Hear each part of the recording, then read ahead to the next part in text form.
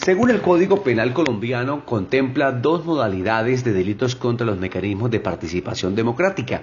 El primero es el artículo 392, que es el favorecimiento al voto fraudulento, cuando el servidor público le permite suplantar a un ciudadano o que éste vote más de una vez.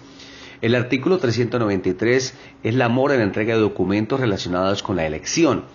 Asimismo, se relaciona que el servidor público no haga entrega oportuna a la autoridad competente del registro electoral sellos de una u otra arca triclave.